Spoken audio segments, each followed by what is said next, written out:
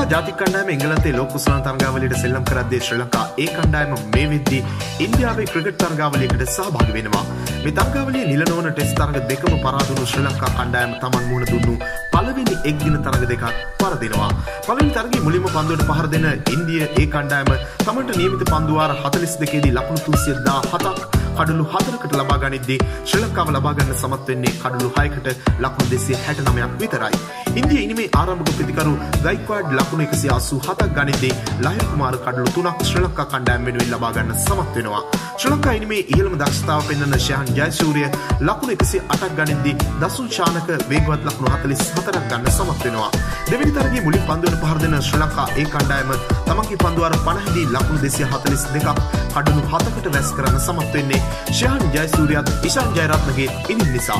ලකුණු 81කට කඩලු 6ක් තිබුණු ශ්‍රී ලංකා ඉනිම තමයි ශයන් සහ ඉෂාන් දෙන්න තරමක් හරි සටනක් දෙන්න පුළුවන් මට්ටමකට අරගෙන යන්නේ.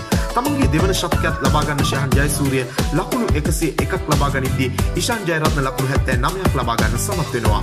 ලකුණු 243 ඉලක්කය හඹා යන ඉන්දියා කණ්ඩායම පන්දුවාර 33ක් වෙද්දී ජයග්‍රාහී ඉලක්කයට යන්නේ එක කඩුල්ලක්වත් ශ්‍රී ලංකා පන්දු යවන්නට නොදී. පළවෙනි තරගයේ ශතකයක් ගන්න ගයික්වාඩ් මේ තරගයේ ශතකයක් ගන්න සමත් වෙනවා. ඒ වගේම ගුක්මාන් ගිල්ටන් මේ තරගයේ ශතකයක් ලබා ගන්න සමත් වෙනවා. තරග දෙක බලද්දී ශයන් ජයසූරියගේ දක්ෂතා ගැන සතුටු වෙන්න පුළුවන් වුණත් ශ්‍රී ලංකා ඒ කණ්ඩායම ගිය දික්කල්ල බානුක ප්‍රියංජන් දසුන් සදීර කමිටු වගේ ප්‍රතිකරුවෝ ඉන්දියාවේ තරුණ ක්‍රීඩකයෝ එක්ක බලද්දී කොහෙද ඉන්නේ කියන එක ගැන මේ තරගාවලියේදී දෙපාරක් හිතනවා නම් ගොඩක් හොඳයි.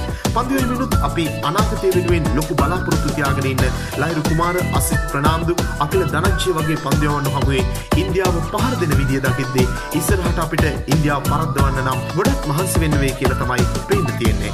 මෙවැනි වීඩියෝ දිනපතා බලන්න අපත් සමග එකතු වන්න. ඔබ තවමත් අපේ channel එක subscribe කරලා නැත්නම් දැන්ම අපිව subscribe කරන්න. ක්‍රිකට් වලට කැමති ඔබේ යාළුවෙකුට බලන්න මේ වීඩියෝ එක share කරන්න අමතක කරන්න එපා.